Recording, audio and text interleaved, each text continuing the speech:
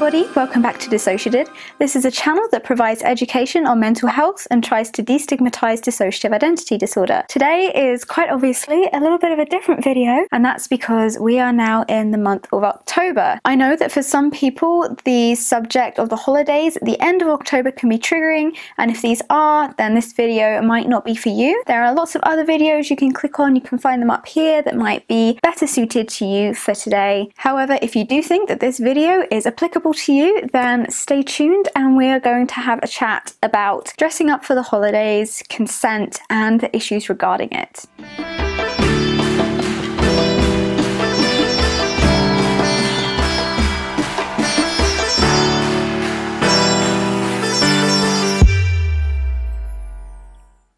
Halloween. It's one of the biggest events of the year, and lots of people tend to go out and have a few too many drinks. It's become increasingly common as the years have gone on for people to wear shorter and shorter skirts, more provocative outfits, and occasionally just use the holiday as an excuse to be a little bit more outrageous than they normally would be, and that is absolutely fine. However, unfortunately, we do have to bear in mind the kind of society that we live in, and that is a society where lots of people don't understand the meaning of the word no. Today, I wanted to talk to you about consent. This holiday is supposed to be about fun, at least that's what a lot of people use it to represent now. Fun, going out with your friends, an excuse to let loose for a little bit, and it should be just that. I wish I could say that you don't have to worry about being assaulted or somebody touching you where you didn't want to be touched or refusing to leave you alone, but I've had one too many experiences like that, and if you speak to pretty much anybody, especially if they're female, then I'm sure you're going to get a lot of the same responses. This is an issue in society, and I know that we're doing as much as we can to change it,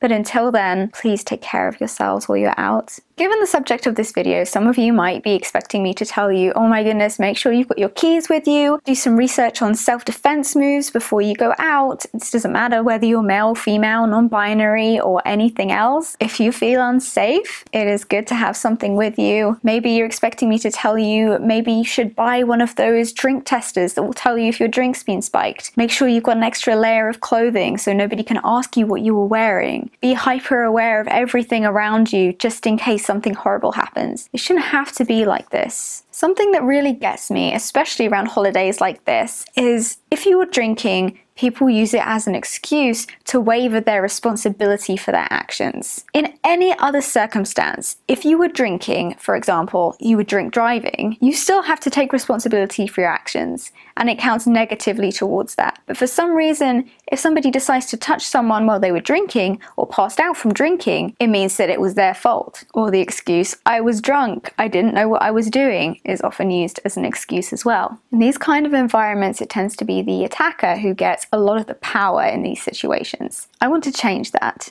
I'm not sure how, but I'm working on it. You are always responsible for your actions. It doesn't matter whether it was an accident. It doesn't matter if you read the signals wrong. It doesn't matter whether you were drinking or whether they were drinking or what you were wearing, what they were wearing. It doesn't matter. You are responsible for your own actions. You're not responsible for anyone else's. Wearing a short skirt or a provocative outfit, something that's designed to be alluring to others, is not the same as consent. It's not an excuse, and it's not an invitation to touch other people unless you have their explicit consent. And consent is not the absence of a no. Being very, very still or not saying no, that's not consent. Freezing up is not consent. The person you're with looking away and waiting for it to be over is not consent. If they're not struggling, if they're not complaining, that doesn't mean that they're giving you consent. Fight or flight is something that we all know about. It is not unusual for people to go into a state of fright and freeze up. You need to check with your partner or whoever it is that you're with that what you're doing is consensual even if it's something as simple as buying them a drink or touching their waist, trying to reach out to touch their outfit or their makeup or their hair stuff. Just because they're wearing something that shows a little bit more skin does not mean that they're inviting you to touch them.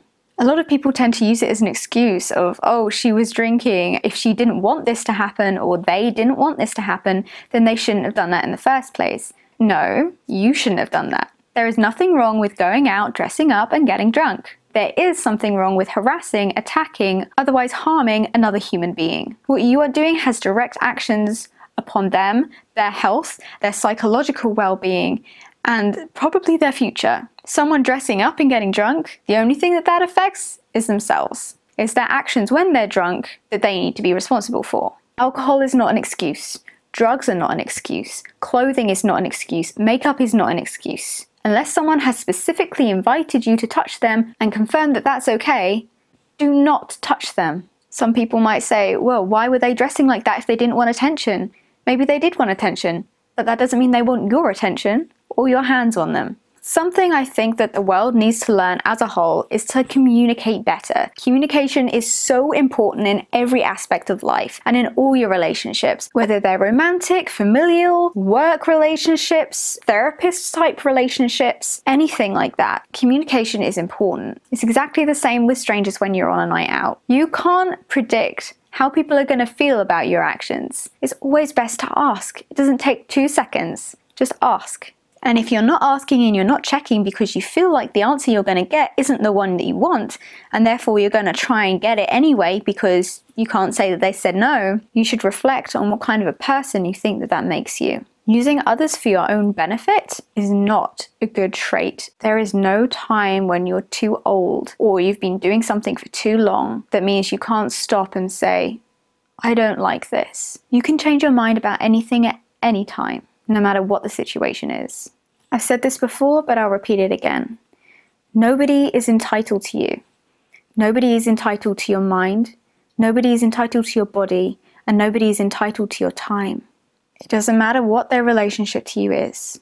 The only person you belong to is yourself. You make the rules. You make the rules about how people can touch you, how people can interact with you, and how people can approach you. Halloween and holidays like this, where you might be dressing a little bit differently, people might try and use it as an excuse to say, well, so and so this, so and so that, changes nothing. Those rules are the same. You write your own rules when it comes to yourself and your body and your mind. If anybody breaks them, that is their problem. It is not your issue to fix somebody who can't understand basic human decency. If something happens and you didn't consent to it, it is not your fault. And like I said, it doesn't matter what gender or sex you are. We all need to learn to be more compassionate and aware of other people's feelings and to stop using occasions like Halloween as an excuse to be cruel or manipulative.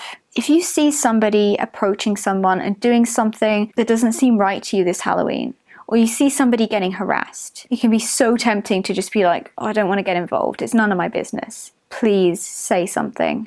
Even one word can be a ripple in the water. It can start a domino effect that makes people reconsider what they're doing and why they're doing it. Some of these people may never have been confronted before, but as always, your safety is the first priority. Please be safe this season. Remember to respect the people around you and know that your choice of clothing does not represent your consent. It doesn't matter if you're wearing a shirt that comes all the way down to here. It doesn't matter if you're wearing a strip of cloth. It doesn't matter if your skirt is pulled all the way up. It doesn't matter. Assault has nothing to do with clothes. Assault and rape was a thing back in the 1700s and before when women wore dresses all the way down to their ankles and were completely covered from the neck down. This is not a new issue. Consent has nothing to do with inebriation and it has nothing to do with your choice of clothing. It has everything to do with predators and everything to do with humanity. We need to start teaching children about consent younger and earlier. This is not an issue that should be happening in this day and age. It should not be difficult for somebody to accept another person's word at face value. You should not have to explain to somebody why you've chosen the word no. No is a full sentence, and you never need to explain yourself. If something doesn't feel right, you can say no. You don't need to have a specific reason. If your gut is telling you something's wrong, you can listen to it. That's okay. I hope that this video might inspire you all to be a little bit kinder and more communicative to the people around you. But I hope that you have a wonderful celebration, no matter if you're celebrating Halloween or Samhain or anything else. Lots of love, everybody. Bye.